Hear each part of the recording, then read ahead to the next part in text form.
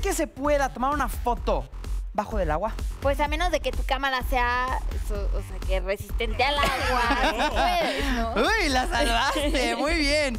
No sé, Luca, no sé si estoy... Sí. Ok, Chica, bueno.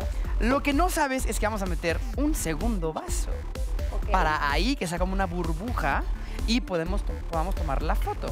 Ok, y a ver, pónganse curiosines. Pónganse ustedes para que le tomemos la foto a ustedes.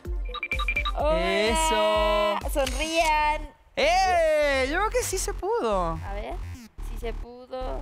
Digo, se ve súper borroso. Se ve un poco borroso porque es el efecto que hace el agua. Acuérdense que es como un efecto de refracción. Obvio.